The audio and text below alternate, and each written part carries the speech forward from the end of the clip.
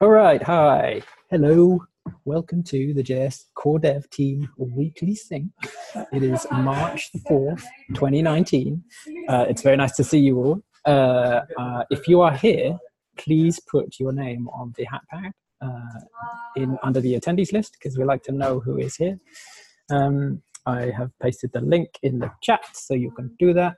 Uh, and if you haven't already, uh, and you're doing been doing some work on on JS core IPFS stuff, uh, then put down your weekly update. Um, uh, this week, uh, I have decided that uh, if we have time, I would like to try something that the Go team do, which is this cross team updates. So if any, anyone is here from actually this, there is people here from other teams who would like to share an update from their team, their working group, uh, in this working group, then um, please put down your names at the bottom of the list um, and your your win and or update, and we'll maybe get to you if we have time, and you can read it out and tell us about what you've been doing. Um, so, without further ado, let's get on with it. Um, weekly updates. So what do we do? We normally tell each other what we've been doing last week, uh, what we are blocked in, uh, blocked on, and what we're going to be doing this week. So my name's at the top. I will start. Um, oh, what have I been doing? Ah, I've opened loads of PRs for CID v1 and base 32 encoded um, CIDs by default. Um, uh, basically there are a lot of PRs to update the CID dependency because it will be a major version when it gets released. So I'm just basically earmarking where the, the repos where I need to have an update uh, done. So I've opened them all, and it should be easy for me to, when the time comes, go around and swap over that dependent that GitHub uh, repo dependency to an actual version number when it gets released. So that's good. Um, so that took a while to open all those. Um, and uh, what else have we been doing? So uh, I had a look again at the IPLD API refactor for Volker last week. Um, I did a couple of interviews, uh, and a whole bunch of my time got uh, got taken up with investigating. There is a, well, there was a issue with the um, in Go Bitswap for the preload nodes that JS uses, and it meant that JS users, people who are creating uh, creating nodes, were not able to actually uh, share content with each other. What was happening was that the uh, the the node was connecting to um, the preload nodes, uh, and it looked like it was sending want lists, uh, but never actually receiving the content from the node, even though the node definitely had that content. Um, and I think that has boiled down to the fact that uh, there was another node, another preload node spun up, uh, which used the same uh, peer ID as a as a as a current one. So there was two preload nodes running, and I think the one that was spun up failed, but never got taken down properly. So there was two preload nodes with the same peer ID, and it was apparently messing everything up. So I think that's pretty much resolved now, which is super cool. Um, and then so fun times, uh, fun times work that I've been doing uh, just basically over the weekend. To be honest, um, I couldn't find caveat. I'm really bad at googling for stuff. Uh, I couldn't find a uh, a module that would allow me to uh, map over some content, uh, like an iterables content uh, in parallel. Um, so like the situation is you've got like a, um, a uh, so some sort of stream you want to cons- consume from or an iterator iterable that you want to consume from um, and that's coming in asynchronously every so often. You want to do some transform with the value that comes back but if you do it in like a for await of loop that's like doing it in serial. So you have to wait for that operation to complete before you start consuming the next chunk from the thing um, and actually, what you what in a lot of situations um, you can do is uh, that chunk where you're doing the transform, you could parallelize it and do a whole bunch of them at once, um, and then and then yeah. Anyway, so this module uh, it takes an iterable and a mapping function and will um, apply the mapping function to each item from the iterable uh, in parallel uh, and give you back an iterable that you can iterate over uh, and consume. And it preserves the order. So whilst all of the async stuff will be done in parallel, um, the order is retained. So um, that's kind of fun. Um, all right. uh, I was blocked. I'm, st- I'm blocked on the 035 release. Basically, there's this 100% CPU issue that Vasco has been investigating. I need to get back on actually looking into that and debugging it, helping him out at least if I can. Um, and I want to do some proper testing of the DHT that's in there now. Um, I also want to do some more work towards the uh, async iterators endeavor and uh, and more work again towards the CIDV1 base 32 encoded by default stuff. Like I think uh, from my perspective now, there is what's left to do is um, get all the tests working. Basically, all your tests with your built-in CIDs um, that are strings. Uh, that's that's kind of annoying for me, especially if the the content has uh, is actually chunked into multiple bits of content, because when we change the version of the CID to be version one by default, the CID, the actual bytes stored, get a bit longer. There's a little bit more to store. Um, so the CID, uh, it's not just a case of um, converting the CID to base 32 encoding, um, because the content has actually changed as well of the links of the node. So um, yeah, that's kind of annoying. So here we go. It's going to be fun times. But so I need to do that. Um, but then there is the whole problem of like um, uh, bit swap and the DHT using CIDs, and uh, they should probably be uh, using multi hashes. And I need to look into and resolve that as well. So they are the two two bits that need to be sorted. Um, that's me. Sorry for the long update. Uh, I haven't been here for two weeks, so I had lots to say. There you go. Um, next up is uh, oh, wait, wait questions. If any, I don't know how this works anymore, it's been two weeks. Uh, uh, Jacob, you got a question? Yeah, for the for the async iterator stuff, like you've created that module, and I know you've created a few other modules, um, and I think Hugo has created some stuff as well. Uh, I think it would be nice to have maybe in the async iterator issue itself to have like a glossary of here are the modules that we have created to make this easier or modules that exist to make all this stuff easier so that we're not recreating them um, if we can't Google to find them. Yeah, yeah, yeah. Uh, I think that's a good idea, and um, I think that we should also be careful not to reinvent the wheel um, uh, and just make a lot of modules that already exist. And and I think if we can, we should settle on like a, a kind of async iterator tool. Um, yeah, I would like if people are, if you, if people have suggestions, it would be cool to um, note them down in the um, async iterators awesome endeavor, and we can maybe pick one. I looked at the bundle size for um, one of them. I think Hugo suggested, and it was like 30k gzipped, and like I looked at async, which was like 8k gzipped, and I was like, no, we can't use that one. that would be bad. Um, so yeah, uh, we've got some things to consider. But yeah, like um, for for the modules that we've created that we don't think already exist, um, we should probably note them down there so that other people who are doing this work can um, have like a a place to pick and choose stuff that that um, that they need for whatever they're doing. Um, cool. Yeah, good suggestion. Any other questions?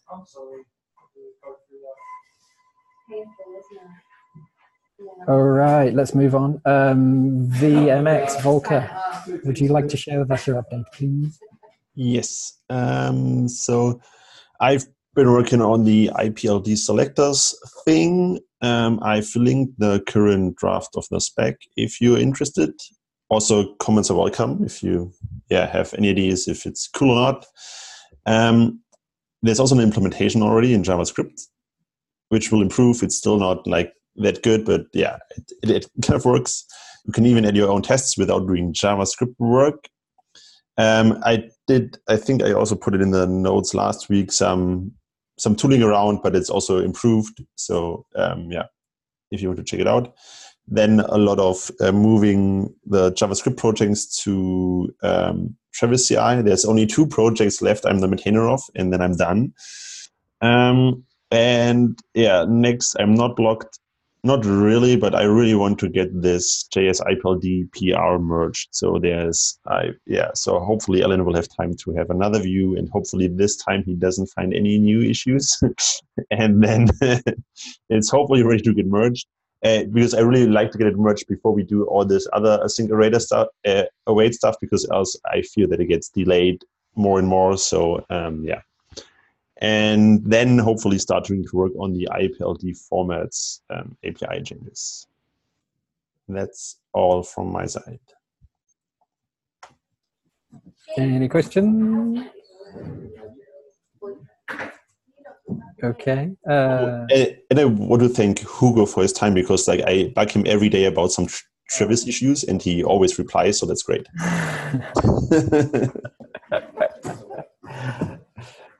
Travis, Hugo, uh, cool, you're the man. Um, all right, next up is the uh, Alex, who is not attending doing an interview. Uh, so we'll skip over him for now. Um, and you may read his, his updates at your leisure. Uh, next up is Jacob. Would you like to share with us your update? Yeah, so most of what I did last week is triaging issues, which I will continue to do this week. Um, but there are some issues. I was working on the pull-mplex integration um, and was looking at IPFS interop, um, and that had some issues. And so I was checking against the latest version of uh, the latest IPFS release candidate, and the issue exists there. So it's not in pull-mplex itself, uh, which is good, but bad because there's an issue with the exchange files hitting heap issues. So I'm going to look into that. I'm probably going to write some basic benchmark tests for at least the switch to see if there's something going on in the switch that's causing the heap to uh, get out of control but because that will probably be a blocker for the next IPFS release. So that is going to be at the top of my list uh, for fo- focusing on that this week. Um, an issue that I am blocked on somewhat is Travis doesn't seem to properly support IP6 tests. Uh, so I went to update libp2p TCP, and that is having some failures and was worked looking at some additional IP6 tests. Um, but that was not working properly. So, not a huge priority um, at the moment, um, but that will probably be an issue. So, yeah. Um, other than that, uh, released a small update for JS Multi-Adder uh, to support toJSON so that we can stringify um, and parse from the config multi-adders. So uh, other than that, that's pretty much it. Anybody have questions?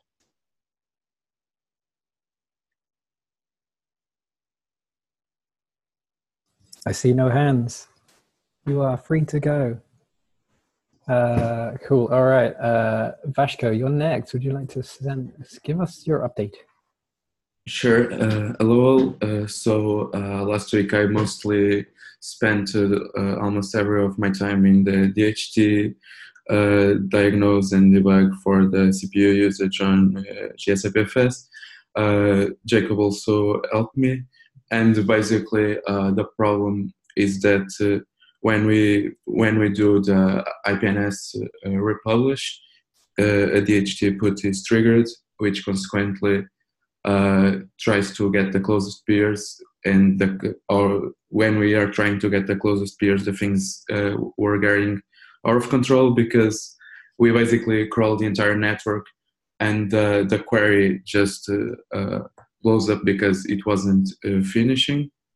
And so i've been discussing possible solutions with jacob and we ended up going with a temporary fix for for closer peers and uh, that uh, will hopefully unblock uh, the release for now because we now can can put without problems and I think that's the biggest problem of efficiency right now will be if we do a DHT query. But uh, so uh, we we will need some more time to to have a proper solution for that because uh, we will need to refactor uh, all the DHT query and uh, and probably closer peers. And then we also had another problem uh, which was if we could really get all the closer peers then when we tried to do the DHT puts to all the closer peers some of them uh, were not answering as well because uh, I don't know, but I assume that uh, some of them don't have the DHT enabled or uh, they just don't uh, respond on time. Uh, and so we also need to to to improve the fault tolerance for for that. I created a, a issue for discussing the solution, but for now, what I did was the temporary fix for the closer peers, and I also did a pull request for JS IPFS, which basically um, upgrades the version of DHT and also disables the the random walk, which I think is not a problem for now. Uh, and uh, disabling the random walk and with this fix, the CPU is fine. And from now, I think we can just uh, improve the things without uh, being uh, with JS IPFS uh, like all crashed. Then I also got a, a little progress in the DHT interop tests not ready for PR yet, but I had some progress on that as well as the PubSub support for daemon and daemon client. I already have uh, the commits in my update, I, and I hope to get in a state for PR during this week. Then uh, other minor stuff that I did, like uh, migrate repos to use Travis CI and reviews for for Volker, and I also did a PR for fixing the DNS formats in JS MAFMT. So uh, as I said this week, uh, I really wanted to to get the DHT interop tests and the PubSub support for the daemons ready. Um, and I I also want to do a new review for the the Gossip Sub implementation. That was one of the things that I wanted to do last week, but thanks to DHT I couldn't manage to get that done. And uh, also dirkmc uh, made a couple of PRs for async migrations for IPNS and DHT and is also waiting for my feedback. So I really want also to get the, those PRs reviewed this week. It's everything. Uh, any questions? I have a question. Uh, so the the the fixes that you've done, or the temporary fixes that you've done to um, to help uh, fix up the CPU usage, what does that effectively mean um, for the like? What what have we lost by doing those? Like, so it sounds like so we're disabling DHT discovery. Does that mean I'm not going to get lots and lots of peers appearing in my JS IPFS node? That it's not going to discover them uh, but content, like I'll still be able to get content from the network that I wasn't able to before. Um, so basically, first, uh, when we do the, the DHT put, uh, we'll not uh, put to as many periods as it would be uh, great to, to put because uh, what we are doing now is just do a, a, first iteration of closer peers and not like uh, getting the closer peers of the closer peers and the closer peers of the closer closer peers and so on. That's what uh, was happening before. And uh, basically, what, I, what we discussed to fix that would probably uh, help to have the sync iterators because we, we could like iterate to, through the query and uh, abort the, the query at a certain time that we, for a metric, we would decide that we have enough peers while we now were just uh, crawling all the network. And uh, uh, regarding the, the discovery, basically each time we interact with the DHT, we will discover new peers on our queries like puts and gets, and we will be able with that to get more peers in the network, but a random walk uh, would be like uh, the step where we can get uh, like uh, five five hundred nodes. Now I tried with without random walk with disabled, and I got connected with uh, I think 120 peers in in 30 minutes or something. Okay, cool. All right, uh, and so uh, what's the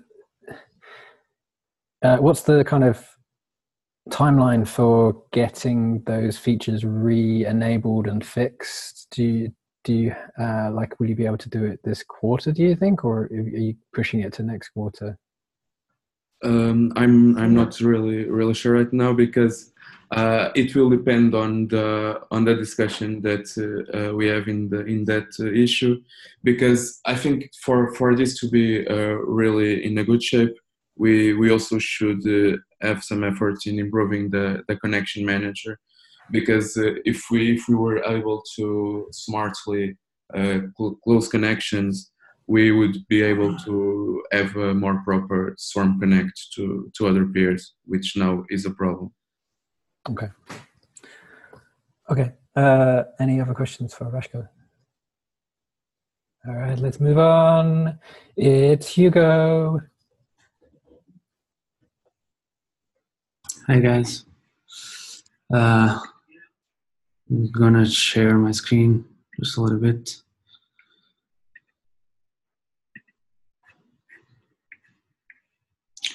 So I've been doing a lot of um, bundle size stuff.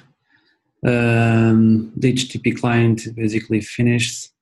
We're just finishing up some little things to be able to merge it, hopefully.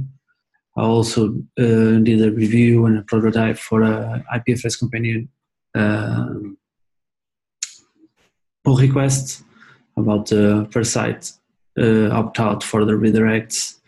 Uh, you can see the prototype in the link there um, but a bunch of dependencies uh, that I got to update to stream three.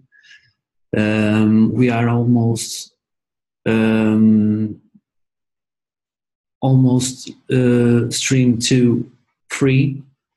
Uh, from my research, the only um, package still pulling up or, or pulling in uh, readable stream 2 is the libp2p crypto sec sept or whatever the repo is called. I'll have a look at it later. Um, did uh, some debugging on the libp2p ci problem. The guys from travis finally respond to my uh, support tickets. Uh, basically it's exactly as I told them. The the way they set up their their Windows VMs is wrong. I told them how they should set up the Windows VMs um, because I validated that the way I uh, explained to them works at least for us, and is mostly what everyone does uh, when they want a Node.js and um, need to compile native stuff in, for Node.js do is basically installing uh, npm package that that uh, does all the things needed to uh, have that working on Windows. Um, let's see how they respond. This CI stuff might not be finished because of the whole uh, in their acquisition of Travis I don't know how much work they're gonna put on on on, on Travis from now on. But let's see how, how that turns out. Um, and did um, a prioritization of the async iterators pull requests. Basically, stuff. Right now on the issue, we have all the repos with um, a P0, P1, P2 um, prioritization. Everything else has a P3 plus. Basically, what I did, I only did like P0s, P1s, and P2s. Basically, uh, P0 depends on nothing. Uh, at least our dependencies, not like streams or stuff. Uh, P1 depends only on P0s, and P2s depend uh, on P1s and P0s. Everything else uh, is going to be on another wave. Uh, and that's why some of them have like P3 plus.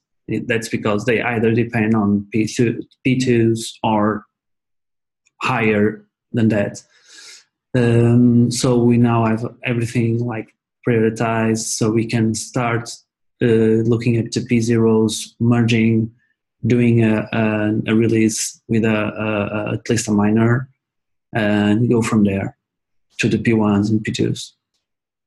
Uh, one thing I noticed when doing this this work is um, let me give you an example.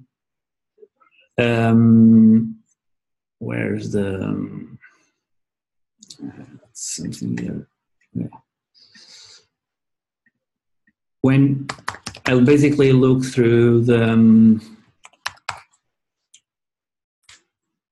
the dependencies and a lot of our repos have like okay uh, dependencies they mostly have only third party dependencies at least the p zeros but then on the on the dev dependencies they depend on higher higher level um, repos as we go through the, these repos and do the sync iterators pull requests would be a good thing to try to remove the higher level packages from the tests. Some, some of our repos are really hard to do, especially the libp2p ones, because it's kind of really hard to not use higher level repos to do the tests.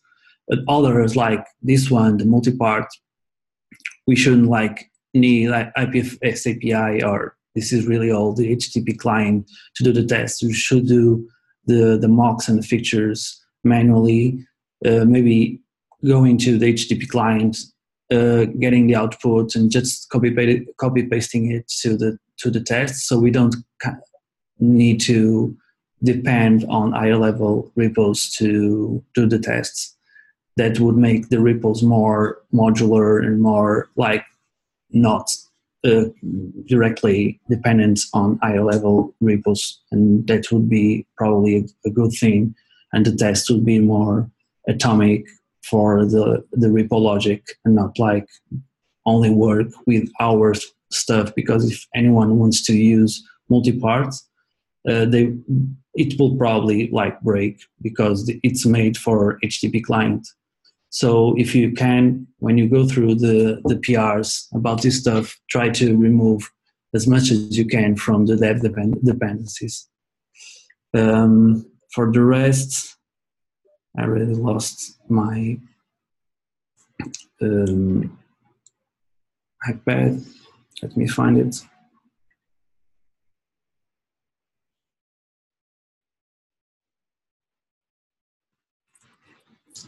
Still here.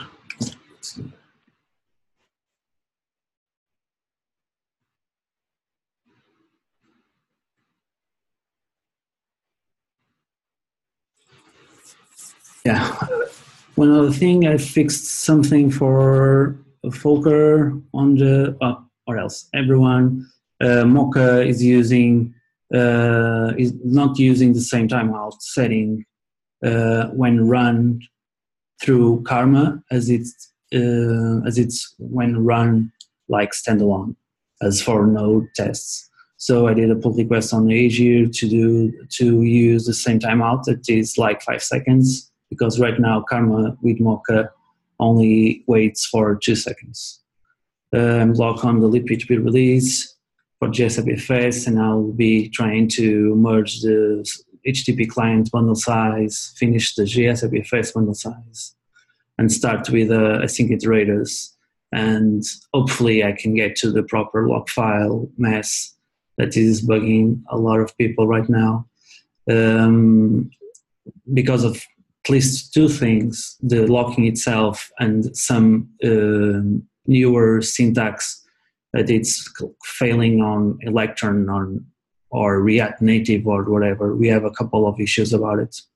Yeah, that's it. Anyone has any questions? No? Cool.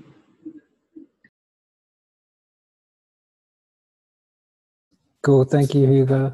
Uh, I cannot see any questions, so if we don't have any, then can you stop sharing your screen and we will continue on to uh, Zane. Cool. Um, so um, filed PRs for um, the JS data store uh, packages. Um, I filed one for JS data store uh, core, and CI is failing for some reason. Um, builds locally, uh, which is now allowing me to sort of test the packages that are further downstream. Um, so I hope to like clear the triad of uh, or trio of um, packages and get all those working this week. And uh, addressing PR comments as well. And thanks for this. Any questions for Zane? All right, uh, and that's the end of the list. But we have an Alex now. Would you like to share us your update, Alex? Sure, no problem. Uh, so last week I was on holiday, so I didn't really do very much. Um, I was I was looking to a, a perceived problem uh, with PubSub where it just seems to stop working after a while. Uh, and after a bit of investigation, it turns out there's a magic number uh, for the of maximum size of a message that you can send. If you send a message to subscribers that is bigger than this message, and they will disconnect from you. Um, found that one out the hard way. Uh, it would be nice if it exploded instead, like on the on like when you try and send a message that's bigger than that.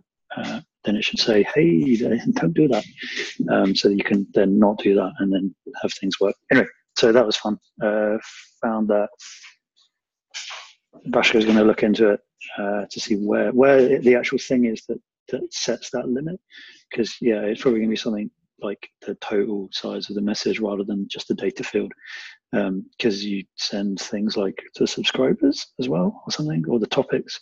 So it could be a combination of like the topic name plus the data field or something like that. Anyway Vasco was going to look into it uh, and it's going to be great. Uh, i'm not blocked in anything. Next week i am going to finish uh, those uh, uh, endpoint ipfs blog posts because there was a whole ton of comments uh, about it. Uh, and now that I know what people want to see in it, now I can put it in it, uh, and it's going to be good.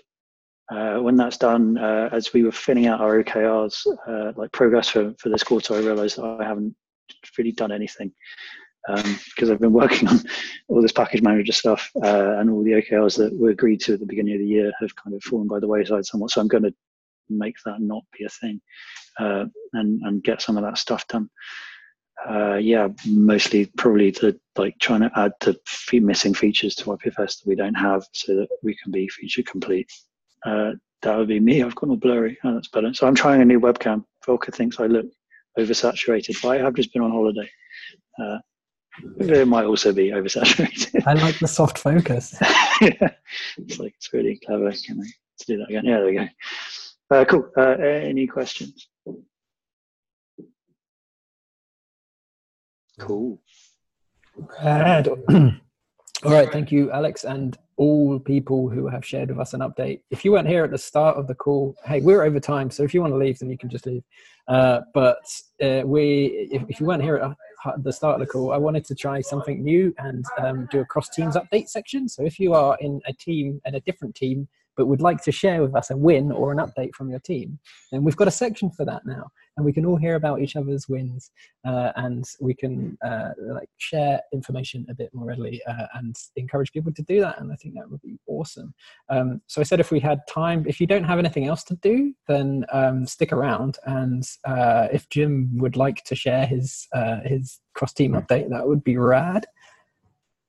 Um, okay yeah my, i'll just keep mine really short. Um. So i'm working on peerpad and there's already a pinning service which just sort of like joins the collaboration with you when you're typing on notes together and it makes sure that it gets saved somewhere. Um, but it isn't really saving it anywhere permanent. Um, so I want to stuff it into IPLD, pin it to IPFS cluster, and uh, I want to use IPNS so that we can actually find the head of that thing. So when I reboot the pinner, it can. I, I don't know if that's going to work, but um, so uh, I did a, a, a, quick try to make it work on Thursday, and I failed. So I'm going to be spending some time this week trying to figure that out. And uh, a few other things I'm interested in, but I'll just leave it at that. Awesome, thank you. Uh, any other ad lib updates that anyone would else would like to give, or if anyone has any questions for Jim? No questions, but Lidel would like to update. Go for it. Uh, well, while, while I'm here, so maybe I'll quickly mention that uh, Hugo already mentioned that he created a very nice, in my opinion, uh, take on redoing the interface of our browser extension. So if anyone is interested, I extracted that idea into a separate thread when we can brainstorm how we can improve the current UI or how can we uh, design absolutely new one. And here is the Hugo's idea and feel free to post. I'll stop sharing and I'll paste link to the chat in case anyone is interested.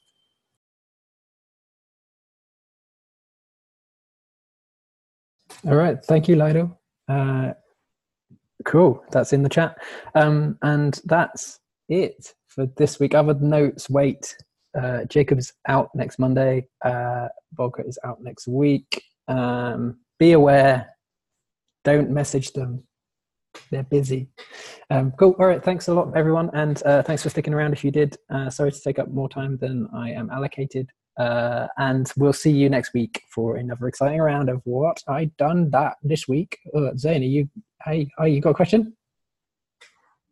You're muted. No, no, no. I was just waiting. You're all right.